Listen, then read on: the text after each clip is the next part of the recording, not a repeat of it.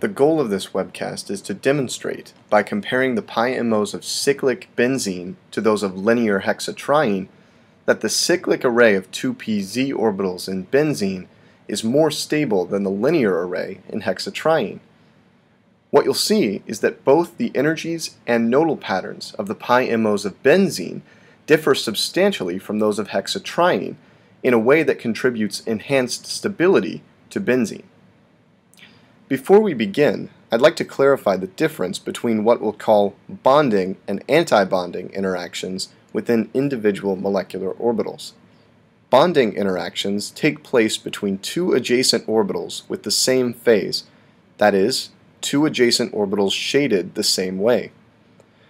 Bonding interactions stabilize molecular orbitals. Antibonding interactions take place between two adjacent lobes of opposite phase and destabilize molecular orbitals. Ultimately, we'll see that the number of bonding interactions in the filled MOs of benzene surpasses the number of bonding interactions in the filled MOs of hexatriene. This result would suggest that the electrons in benzene are more stable than those in hexatriene. Let's begin by applying this analysis to a compound we've explored already, hexatriene. The pi molecular orbitals of hexatriene increase in energy as the numbers of nodes in the orbitals increase. For each molecular orbital, let's identify the number of bonding and antibonding interactions. We'll calculate a net number of interactions for each level by subtracting the number of antibonding interactions from the number of bonding interactions.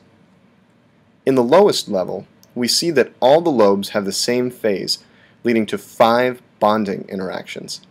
In the level above, we can see four bonding interactions symmetrically disposed about the center of the molecule and a single antibonding interaction in the center for a net of three bonding interactions. In the third MO, we see three bonding interactions here, here, and here, and two antibonding interactions here and here.